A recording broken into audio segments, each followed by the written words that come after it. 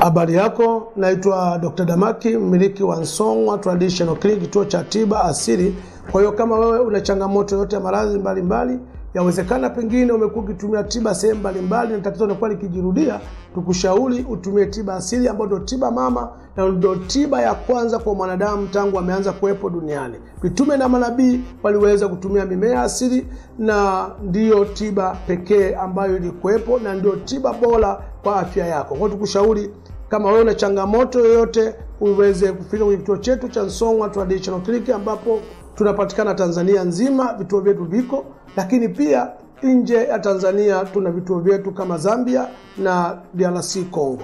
Lakini pia kuna watu wengi wamekuwa wakiwa na changamoto ya kushindwa kupata watoto, na siku zote nimekuwa nikisema kwamba mtoto wa mwenzio ni mtoto wa mwenzio, mtoto wako ni mtoto wako. Nimekuwa tu nikieleza wajifunze kwa Sara. Sara ambaye alikuwa ni mke wa Ibrahimu, baada ya kukaa miaka mingi bila kupata mtoto, wakashauriwa mke na na mume wake waweze kupata mtoto kupitia kwa kijakazi, lakini bado Sara hakuwa na furaha pamoja mtoto alipatikana kutoka kwa kijakazi, mpaka pale ambapo Sara alipopata mtoto wake, na ndipo alipoweza kujiamini kama mwanamke. Kwa hiyo tukushauri kama mama una changamoto ya kupata mtoto, uweze kutumia dawa ambazo zinaondoa changamoto za kusababisha wewe usiweze kupata mtoto. Na uzuri, tuna dawa yetu inaitwa Mbasa. Dawa ya Mbasa ni dawa ambayo inakupa sifa mwanamke wa kuweza kubeba mimba ya watoto wawili, kwa maana ya mapacha. Mapacha wanapatikana kwa njia kuu tatu.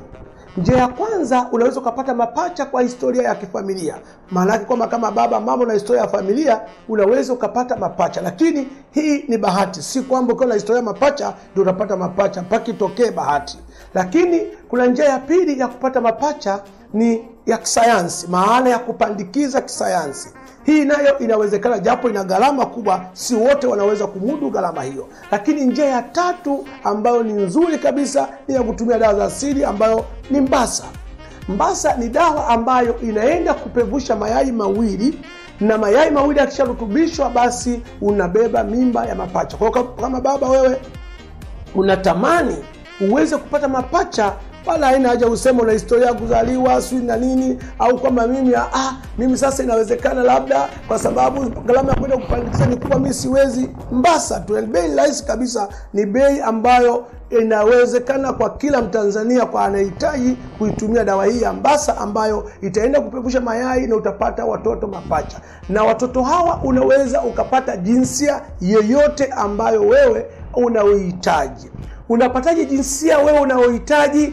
Hiyo utawasiliana sisi, tutakupa mwongozo baada ya kutumia dawa au unapokuja kuchukua dawa, kwa sababu baada ya kumaliza dozi tutakupa mwongozo ni siku ipi sahihi spesifiki ya mtoto wa kike au ipi ya mtoto wa kiume au ipi ya watoto mchanganyiko. Kwa hiyo ukiwasiliana na sisi utapata tiba, lakini kama wewe una changamoto ya magonjwa kama eh, fungus au PID, tutakushauri pia upate dawa ya PID au fungus kwa sababu PID huwa inaharibu mirija ya uzazi na kuziba, hali ambayo inapelekea ukashindwa kubeba mtoto, hata yule mmoja wa kawaida huwezi kubeba. Sasa kama una changamoto ya PID, tutakushauri upate dawa ya kusafisha mirija ya uzazi na PID na hii nyingine ya Mbasa ya mapacha, ukazitumia zote kwa pamoja. Lakini kama changamoto ya chango ambayo inabadilisha pia hormone imbalance, tutakushauri pia uweze kupata tiba ambayo itaweza kuondoa changamoto hizi na ukaweza kupata tiba.